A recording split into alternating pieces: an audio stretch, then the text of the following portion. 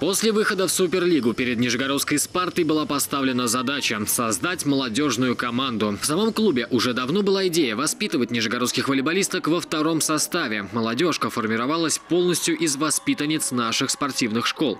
В основном из ШОР номер 4 и Борской школы. На данный момент мы ставим задачу первоначальную – это сыграться набираться опыта, потому что там уровень не детский, там уже более профессиональный уровень. Поэтому никаких задач сейчас не ставим, просто чтобы играли, готовились к будущему. Руководить командой были приглашены мастера спорта, главный тренер Анна Муравьева и старший тренер Екатерина Крылова.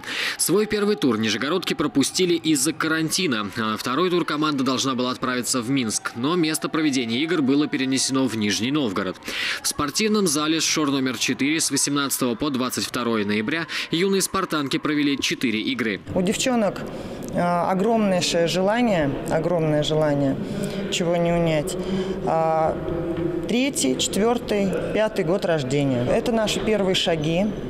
Много, конечно, неуверенности, но мы будем стараться. В первую очередь не потерять вот эту уверенность и желание показать себя, вот, сравнить и не потерять бойцовские качества.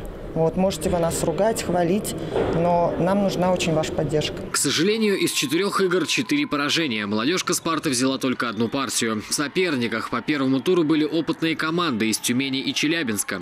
Тем не менее, главная цель молодежки – набраться опыта и как можно лучше сыграться друг с другом. И, конечно, для дебюта играть дома намного проще. Это наш первый опыт, первое выступление на таком уровне. Мы все собирались из разных команд. А, в общем, сдружились все а, впечатление. Мы все были дружны и желали победить. Немножко не хватило опыта, но мы будем стараться дальше. С глубоким настроем вышли на этот тур.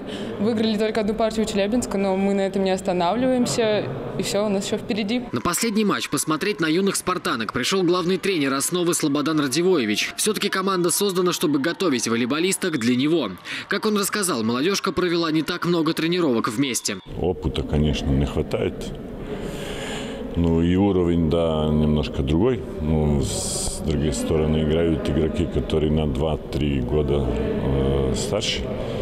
Поэтому э, видно, что система какая-то, как система есть, а просто так надо еще больше опыта набирать и тренироваться. Я думаю, что будет лучше. Следующие четыре матча «Спарта-2» проведет также в Нижнем Новгороде. Это будут игры перенесенного тура. В соперниках «Саратовский Протон» и «Казанский Динамо Акбарс».